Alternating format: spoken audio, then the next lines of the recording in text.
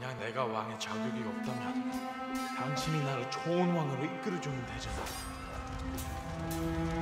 어떻게 내가 이 나라 수백만의 백성을 배신하고 탐욕스런 짐승 같은 너를 왕으로 세우겠는가?